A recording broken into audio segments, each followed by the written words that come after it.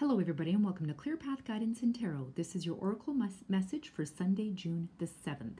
I am using the Angel Answers Oracle deck. I would like you to think of a situation or a question, and then in 10 seconds, I will flip the card for you to have your message, starting now.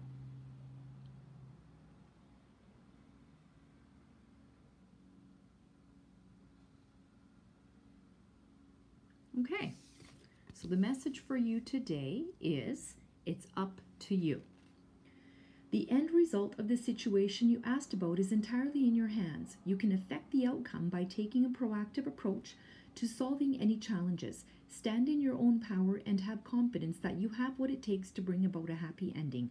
Don't wait for someone else to rush in and take charge. In order to come to a successful conclusion, this situation requires your unique perspective and experience. All right, everyone, have a great Sunday. Bye bye.